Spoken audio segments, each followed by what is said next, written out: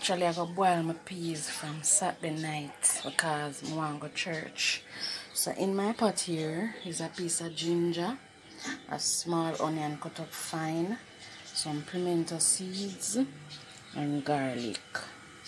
So I'm going to boil this overnight and then cool it, rest it in the fridge until in the morning. If it want boil a little more, we boil some more in the morning, but me make it want boil from Saturday night.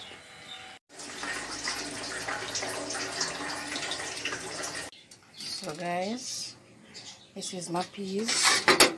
Is now cooked. So I'm now going to add my coconut milk and season up my pot. Guys, apart from the coconut, this is what I use. If I'm using coconut milk, the Maggi coconut milk. This is the liquid version. So I'm going to add this. After my coconut milk, I will now season my pot. So here I have some and thyme. I have a half green, half yellow scotch bonnet pepper because I couldn't find any green one. I have some butter here. I have one I have one teaspoon of sugar Less than teaspoon that. and I have some salt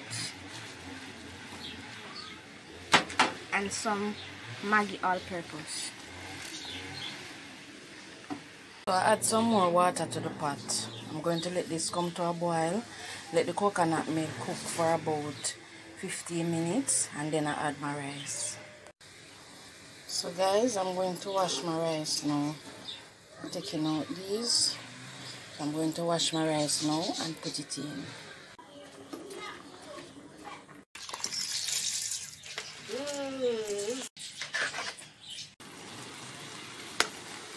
See how the peas are bad? Make your rice red.